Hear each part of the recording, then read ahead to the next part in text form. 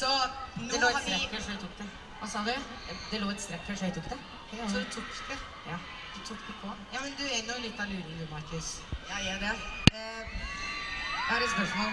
Kan du komme opp på scenen?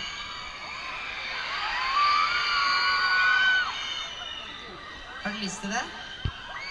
Ok, kult. Ok, fordi vi kom nettopp ut med en ny sang. Og så heter jo den First Kiss. Slapp av, vi skal ikke kysse. Kanskje.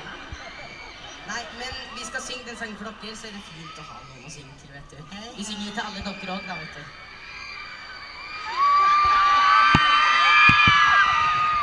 Ok, det er bare å sette seg ned her. Ok, Fordi akkurat nå så tenker jeg bare at vi Vent, hva heter du? Emilie. Emilie, ok. Hvor gammel er du? Eh, 13. 13 år. 13 Syns du konserten er bra så langt? Ja, veldig. Ok, tusen takk. Synes dere det? Fantastisk. Ok, her er First Kiss. Håper dere er med og synger.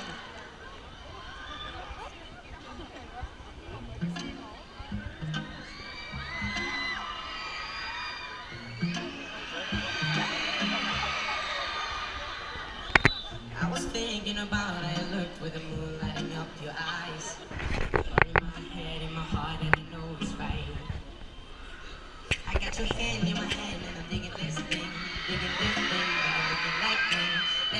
Go, I'ma do what I know is right.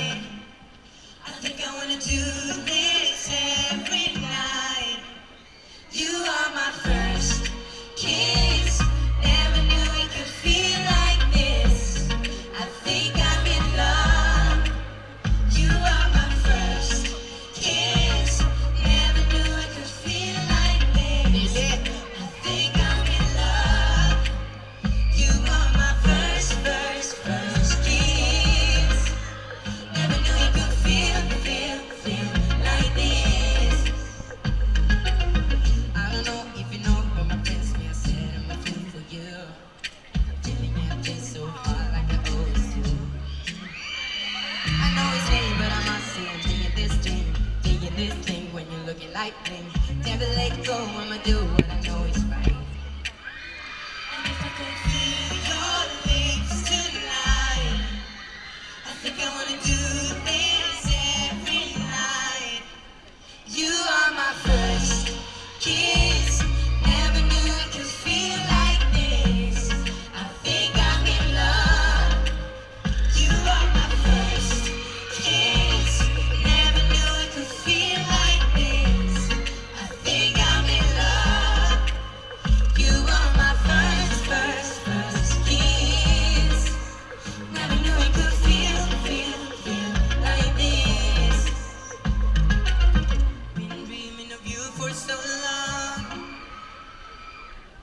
Sorry.